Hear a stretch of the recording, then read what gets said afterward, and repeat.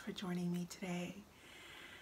The weather is cooling in most of the world, including where we are, and I thought that it'd be a wonderful time to talk about keeping our skin beautiful and supple and well moisturized in the cold months during the winter.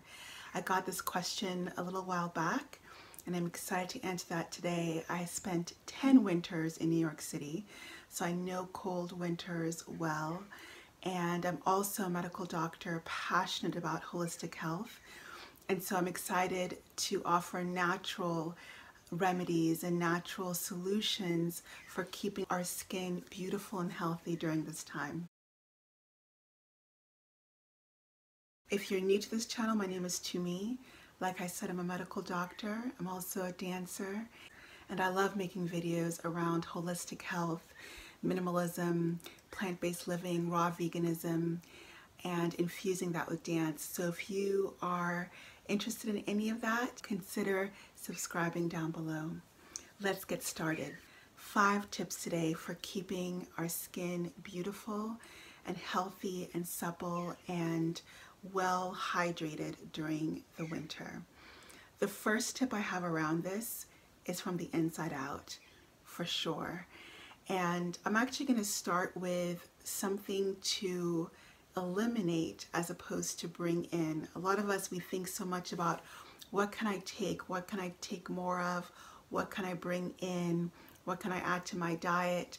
But a lot of times the body knows exactly what to do and it's a matter of us getting out of its way basically and we can sometimes take things in that actually are a detriment to the body and this is especially so in the wintertime if you're somebody who takes in caffeine so I highly suggest if you drink coffee including decaf coffee I did that because decaf coffee does have some caffeine um, caffeinated teas definitely energy drinks or sodas, which I hope you're not drinking, caffeinated sodas.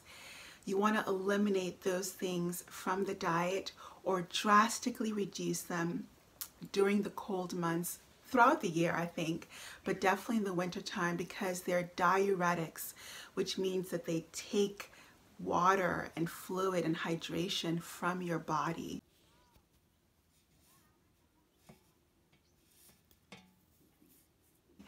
Same thing goes with alcohol. Alcohol also is a diuretic and will also leach out hydration from your skin. So reducing or eliminating those things are really helpful. The other thing the diet to really keep an eye on during this time is salty foods, processed foods. When I work with clients and patients, I really have them start looking at food labels to make sure the sodium content of anything they're having that's packaged is very low. Salty foods, processed foods also can deplete the body of hydration. So that's number one. Look at your diet and try to eliminate or reduce these types of foods and drinks from them. The second tip I have is definitely getting hydrated from the inside out. So what do I mean by that? Definitely more water if you're not taking enough water in and taking your water in between your meals, not with your meals for proper digestion. And then also having hydrating foods. If you know this channel at all, you know that I'm a big proponent of whole unprocessed plant foods. I love hydrating water-rich fruits.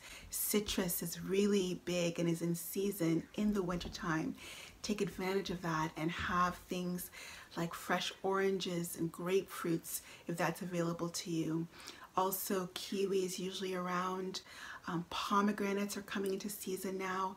These are all hydrating, antioxidant rich fruits that are so lovely for replenishing fluids in your body.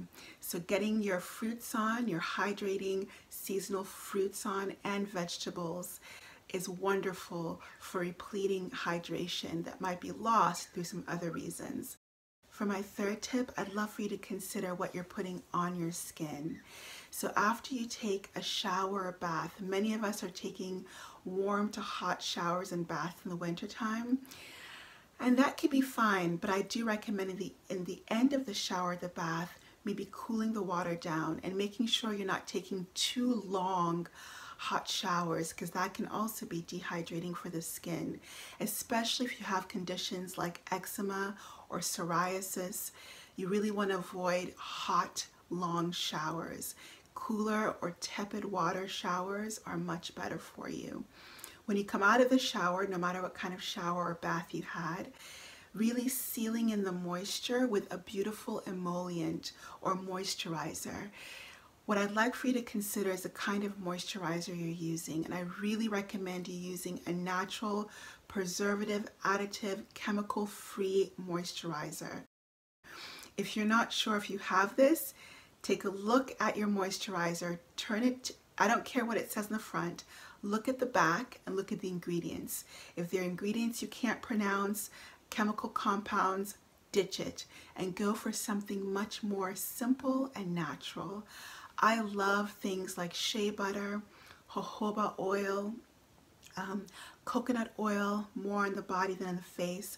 I have a video about holistic skincare you can check out on my channel that talks more about these different oils for the skin. So take a look at that and consider natural emollients and moisturizers to seal in the moisture immediately you come out of the shower or bath and you wipe off. Tip number four is to take a look at how you're heating your home. A lot of heaters, we have a heater we haven't actually turned on yet. Um, they can be very dehydrating. Radiators, heaters, and in many places they're central heating so you don't have control over how much heating is going on. And it can really dry out the air which will then dry out your skin. So I highly recommend if you are able to controlling the heat and consider if you have to use the heat. If you're somewhere very cold you need the heat a lot consider using a humidifier to bring more moisture into the ambient air and the air around you, especially when you're sleeping. We as humans can lose a lot of water and hydration while we're sleeping. We call it insensible fluid losses through our skin, which is our largest organ. And some of us open our mouths when we sleep, and so we lose it through our mucous membranes also. And so having a humidifier to put some moisture back into the air can be very helpful in preventing dry skin, dry ashy skin during the winter or cold months. And finally, my fifth tip. It seems so simple, but I think it's amazing for the winter time, for all times, but definitely for the winter time. And that is moving your body, staying active, doing some movement play, I love to call it, really getting your heart rate up many times during the week as you can. I have some videos on my channel, I think two videos, a couple of HIIT movement practices that you can do at home, inside your home if you don't want to go outside because it's too cold.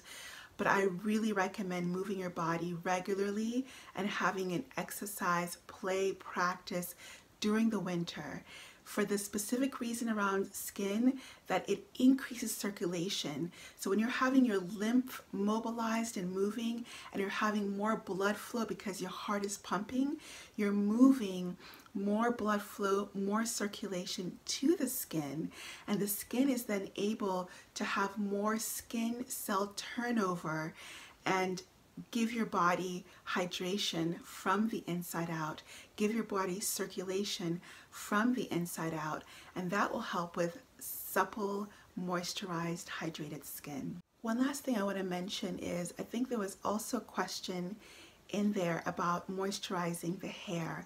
I have a whole video about moisturizing my locks that you can check out on my video. And I think it's called How I Moisturize My Locks. I'll write it down here so you can see the exact title. Whatever hair type you have, I think the video would be beneficial for you.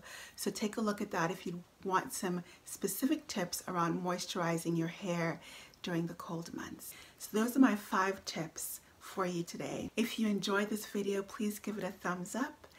Um, subscribe down below if you would like and share this video with anyone who you think would benefit. I send you so much love, stay warm, and take care.